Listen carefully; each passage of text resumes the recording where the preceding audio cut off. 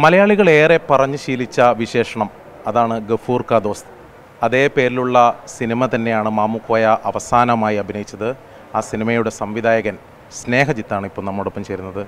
എന്താണ് ആ ചിത്രവുമായി ബന്ധപ്പെട്ട് ചിത്രീകരണ ഘട്ടത്തിലുള്ള ഒരു മാമുക്കോയോടൊപ്പമുള്ള ഓർമ്മകൾ ചിത്രീകരണ ഘട്ടത്തിൽ എന്ന് പറഞ്ഞു കഴിഞ്ഞാൽ ഈ സിനിമ ഞാൻ എടുക്കണമെന്ന് മനസ്സിൽ ചിന്തിച്ചപ്പോൾ തന്നെ. കാരണം ഇതിന്റെ കഥ എന്റെയാണ്. തിരക്കഥ വന്നിട്ട് തോമസ് തോപ്പിക്കുടി എന്ന് പറയുന്ന അദ്ദേഹത്തിന്റെയാണ്. സിനിമ എടുക്കണം എന്ന് പറഞ്ഞപ്പോൾ തന്നെ ഒരു വൺ ലൈൻ ആയിട്ട് ഞാൻ ഇക്കേ വന്ന് കാണുക ചെയ്തത്. അന്ന് അദ്ദേഹം പറഞ്ഞ ഒരൊറ്റ പോയിന്റ് ഉള്ളൂ. കാരണം എന്ന് വെച്ചിട്ടുണ്ടെങ്കിൽ ഇത് സ്നേഹിത്തെ മോനെ ഇത് നിങ്ങൾ വിചാരിക്കുന്ന പോലത്തെ ഒരു സിനിമ ഒരു കഥാപാത്രമല്ല അത്. കാരണം മലയാളികളുടെ മനസ്സിൽ ഇടം നേടിയ അതുപോലെ തന്നെ അത്രയും എന്താ പറയുക തങ്ങി നിൽക്കുന്ന ഒരു കഥാപാത്രമാണ്. അപ്പോൾ അത് എങ്ങനെയാണ് നിങ്ങൾ മേക്ക് ചെയ്യണമെന്നോ ഒന്നും എനിക്കറിയില്ല. കാര്യം സ്നേഹജിത്ത് വേറെ പടങ്ങൾ ചെയ്തിട്ടുണ്ടാവാം. പക്ഷേ ഈ ഒരു കഥാപാത്രം വെച്ച് ചെയ്യുമ്പോൾ അത് ഒന്നുകിൽ നേരത്തെ ചെയ്ത കഥാപാത്രത്തിനോട് കിടപിടിക്കുന്നതായിരിക്കണം. അല്ലെങ്കിൽ അതിന്റെ മുകളിൽ നിൽക്കണം. അതിന്റെ താഴെ വരാണെങ്കിൽ ഞാൻ ചെയ്യില്ല എന്ന് തോന്നുന്നു. നമ്മളിപ്പോൾ ഇതിനകത്ത് എന്താണ് ചെയ്യാൻ പറ്റുന്ന ഒരു ഓപ്ഷൻ എന്താണെന്ന് വെച്ചാൽ തിരക്കഥ ഫുള്ളായിട്ട് കൊണ്ടുപോയി ഞാൻ വായിച്ച് നോക്കിയിട്ട് പറയാമെന്ന് പറഞ്ഞു. അപ്പോൾ ആ സമയത്ത് എനിക്ക് ശരിക്കും പറഞ്ഞാൽ എന്റെ മനസ്സിലേക്ക് ഓടി വന്നൊരു സംഭവം എന്ന് വെച്ചിട്ടുണ്ടെങ്കിൽ അദ്ദേഹത്തിന്റെ ആ ഒരു റൂമിൽ ഇരിക്കുന്ന പുസ്തകങ്ങളെല്ലാം അതിന്റെ എല്ലാം പേരുകൾ ഞാൻ വായിച്ചു.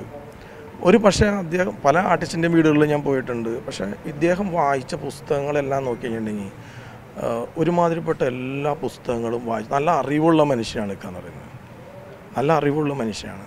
അപ്പോൾ അതുകൊണ്ട് തന്നെ ഞാൻ പറഞ്ഞു ശരി ഇക്ക ഞാൻ സ്ക്രിപ്റ്റായിട്ട് വരാം. അതേസമയം ഇപ്പോൾ പുതിയൊരു ആർട്ടിസ്റ്റോ അങ്ങനെയുള്ള ആൾക്കാരാണെങ്കിൽ ഞാൻ ഒരിക്കലും അങ്ങനെ പറയാം. ഞാൻ പറഞ്ഞു കഥ വെച്ച് ഡേറ്റ് തരാൻ പറ്റുമെങ്കിൽ താ എന്ന് പറയാൻ പറ്റുള്ളൂ. കാരണം അദ്ദേഹത്തിന്റെ അറിവുകൾ നമുക്ക് അദ്ദേഹത്തിന്റെ ഒപ്പം ഇരിക്കുമ്പോഴും അദ്ദേഹം വായിക്കുന്ന പുസ്തകങ്ങളെ പറ്റി നോക്കുമ്പോഴും നമുക്ക് മനസ്സിലാവും അങ്ങനെ ഞാൻ പറഞ്ഞു ഞാൻ തിരക്കഥയായിട്ട് വരാതാണ് ചിത്രീകരണ ഘട്ടത്തിൽ അദ്ദേഹം ഊർജസ്വലനായിരുന്നു അല്ലെങ്കിൽ മറ്റെന്തെങ്കിലും ഇത്തരത്തിൽ ചിത്രീകരണ സമയത്ത് വളരെ ഊർജസ്വലനായിരുന്നു അദ്ദേഹം. വളരെ ഊർജസ്വലൻ വളരെ ഊർജ- കാരണം അതുപോലെ വലിയ പ്രതീക്ഷയോടെയാണ് അദ്ദേഹം കാണുക. അല്ല തീർച്ചയായിട്ടും.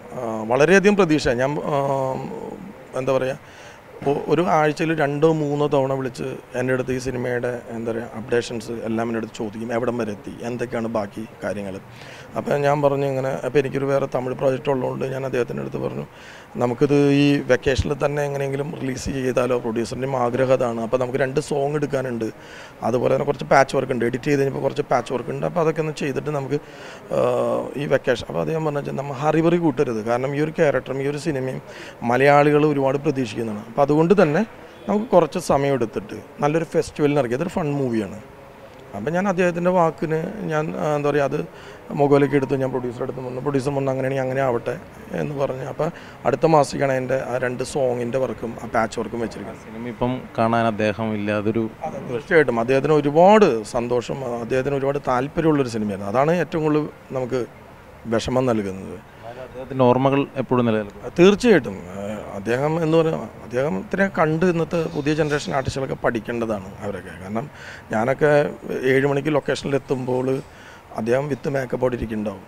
അപ്പോൾ അങ്ങനെയുള്ള ആർട്ടിസ്റ്റുകളൊക്കെ എന്ന് പറഞ്ഞിട്ടുണ്ടെങ്കിൽ ഇന്ന് വളരെ കുറവാണ്. അപ്പോൾ അവരെ കണ്ട് പുതിയ ജനറേഷനിലെ ആർട്ടിസ്റ്റുകൾ പഠിക്കേണ്ടതാണ് അതൊക്കെ. അപ്പോൾ അങ്ങനെയുള്ള നല്ലൊരു കലാകാരനാണ് ഇവിടെ വാങ്ങിയത്. മാത്രമല്ല ആ ഒരു ഈ ഒരു ലാസ്റ്റ് എനിക്ക് തോന്നുന്നൊരു നാലോ അഞ്ചോ ദിവസം മുമ്പാണ് ലാസ്റ്റ് എന്നെ വിളിച്ചത്. അപ്പോൾ ഞാനൊരു തിരക്കിലായിരുന്നു. ഞാൻ കട്ട് ചെയ്തൊക്കെ വിളിക്കാമെന്ന് പറഞ്ഞു. വിളിക്കാൻ മറന്നുപോയി. പിന്നെ പിറ്റേ ദിവസം തന്നെ തിരിച്ച് വീണ്ടും വിളിച്ചു. എന്താണ്? നിങ്ങൾ ഉഴപ്പാണോ ചിത്തു എന്ന് ചോദിച്ചു. ഞാൻ പറഞ്ഞു ഉഴപ്പെന്തല്ലൊക്കെ അങ്ങനെ ചെറിയ തിരക്കുകളിൽ പെടും. ഞാൻ യാത്രയിലായിരുന്നു. അപ്പോൾ അങ്ങനെ കാര്യങ്ങൾ. അത്രയും എന്താ പറയുക വളരെ സിനിമയെ സ്നേഹിച്ച വ്യക്തിയാണ് ഇക്ക. എന്തായാലും മാമുക്കോയുടെ അവസാന അവസാനമായി അഭിനയിച്ച ഗഫൂർ ക ദോസ്ത ചിത്രീകരണ ഘട്ടത്തിലെ ഓർമ്മകളാണ് സംവിധായകൻ പങ്കുവച്ചത്. ക്യാമറമാൻ രാജേഷ് പിള്ളേരിക്കൊണ്ടൊപ്പം അരുൺ പൂപ്പറമ്പ ട്വന്റി